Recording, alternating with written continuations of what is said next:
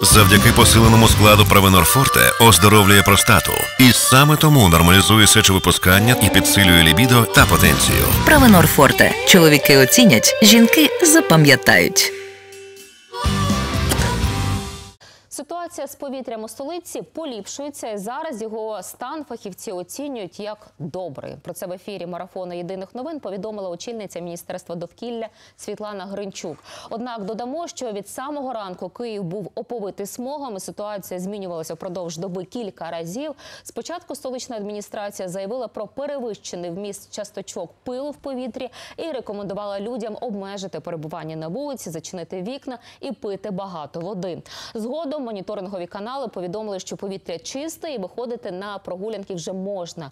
Загалом такі коливання з якістю повітря у Києві і ближніх регіонах пов'язані з тлінням торф'яників та пожежами в лісах, пояснює Гринчук. Вона наголошує, що через зміну клімату та довготривалу посуху такі явища вже стали традиційними в осінню пору.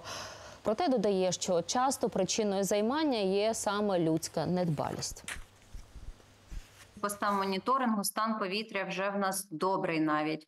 Е, Ситуація покращується, але ми повинні розуміти, що те, що відбувається зараз, на жаль, стало вже традиційною сезонною ситуацією, коли у нас мало дощів на протязі е, серпня і вересня, суха погода, і це призводить, на жаль, до пожеж як лісових, так і горять торфяники, затушити які дуже дуже складно.